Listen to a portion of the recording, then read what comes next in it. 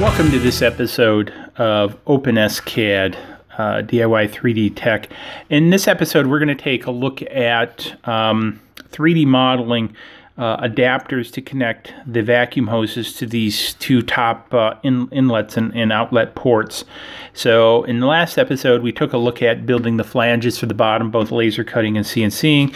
In this episode, we're going to take a look at these flanges and, or the these openings and how we build adapters. So now I've got uh, a one and a half inch hose that I use for my vacuum systems that connects to the CNC. It's a, it's a smaller unit, and, and I run uh, some rigid uh, one half inch PVC pipe to a high velocity shop vac and again that's why I'm building this is, is to keep the filter from being plugged up.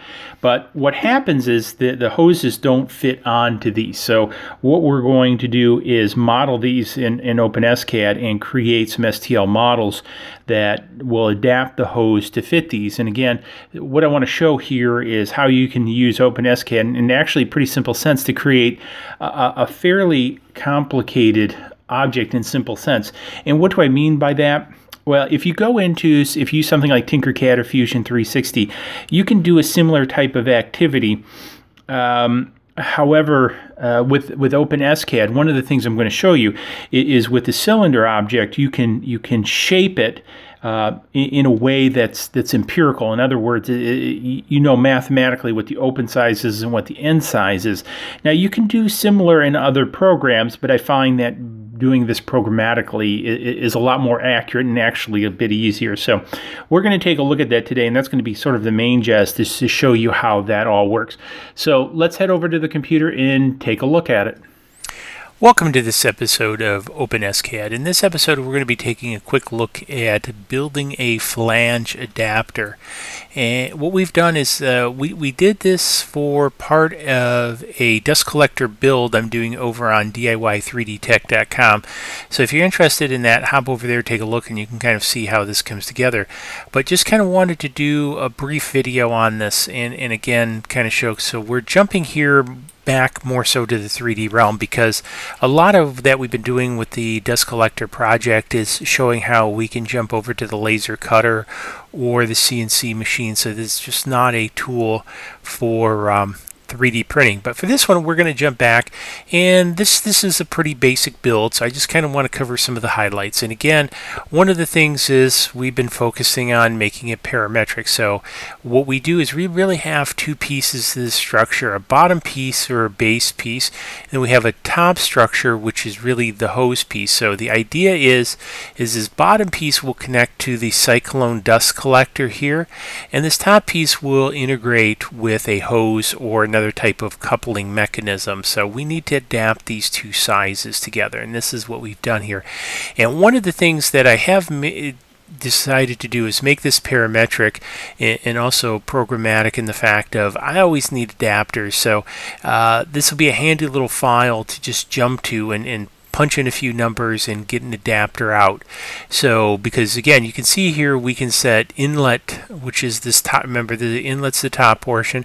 So we can set the OD over here as well as the whoops sorry ID which is the inner diameter. I'll get that right. And then the OD is the outer diameter.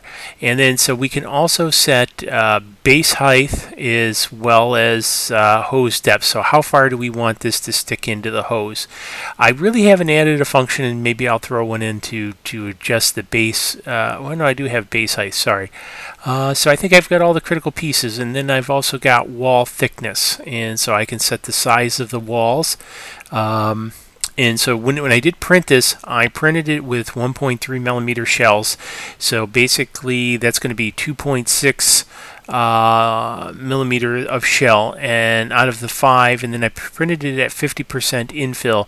So it, it, came out to be a pretty solid object and I was very happy with the way these printed. And one of the things I'll put the printing of it uh, in the upper corner because the other piece I did I want to kind of talk about it is while I designed it in this perspective I actually flipped it in Cura and printed it like this and because uh, the pieces this does have a flat area and I did want to get supports on it because because it does have a bit of an overhang and uh, I, since this piece is going to go into a coupler, this bottom piece here, the hose inlet, and you're not going to see it, I really wasn't too concerned and I could sand it to fit if I needed to. And so having nerds on it or whatever left over from um, uh, supports wasn't a big issue where the base piece was exposed and I wanted uh, you know to be pretty pretty clean looking so uh, and I also did not want the inside here, which is going to be a very tight fit onto the base, to have any nerds or whatever left over from uh, supports, which I could have printed this way and just had supports here. So, uh, some, some of the logic, and this is when you're designing your parts, something to think about is supports and that and printing, and how will you actually print it? Print it. Now, I designed it this way just for ease of use and all the time in my mind knowing it would be printed this way but it was just easier to think of it in this uh, three-dimensional space anyway um, the other piece I wanted to kind of talk about is this this ledge here. So I thought about rounding this ledge because if this was just going to terminate into uh, some sort of just blunt end connector, I would have used a cylinder and turned it into a cone. However, what I'm going to do is use a one and a half inch coupler to go over this hose ID and then it's going to bump up to this and I'm actually going to epoxy it to this hose piece and to this for structural rigidity.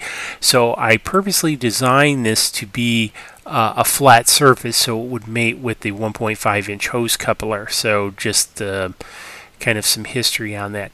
The the overall design isn't that complex. Now I do overlay these a little bit and uh, as you can see here I'm translating it down by a millimeter so I'm leaving a millimeter of overlap you know so I get a solid watertight manifold uh, in this space. Um, so just kind of a little bit of piece there, and you could adjust that. Now, one of the things that, that I did is I left it, uh, you know, FN equals 60. I should have probably bumped that up, and I may make that actually a setting, uh, a uh, parametric setting in the future, but eh, 60 worked out just fine. Um, I tend to to work with 60 just sort of a sidebar is I tend to work with 60 or maybe even a little bit lower just rendering speed. The machine that you're watching right now is uh, 6 core I think 3 gig processor with tons of memory, so it doesn't have have a big problem. But when I'm working on a laptop or something, I like to keep the facets down, um, so the rendering isn't isn't really overloading the machine. And then when I go to print, I usually like to pop that up to 100 because I do like nice circles. But in this case, it worked out fine. Um, outside of that, there's not too much. And, and again, I will have put up the um, uh, in the upper corner up here. You'll probably have seen uh, parts of the uh, printing of this, the time lapse of it printing out on the Wanhao, so it actually came out pretty good. So if you find yourself in the need of an adapter, this this is a pretty good template to follow to create that, or simply go ahead and use this as your template and make modifications as needed. So hopefully you found this interesting, so please give it a thumbs up, subscribe to the channel. Uh, again, I'll be putting out content on a regular basis. I do a lot of design work in OpenSCAD, and the idea is, is I'm going to be sharing not so much, you know, how do you do cylinders or squares or that kind of stuff, but really how do you utilize it in your workflow to create a product and also sort of the diversity of OpenSCAD. You know, it's just not for 3D printing. So you see me do a lot of laser and CNC stuff with it too. So um, if you have laser and CNC friends that, that are interested, uh, by all means, uh, like and share with them. So uh, anyways, cheers. See you in the next video.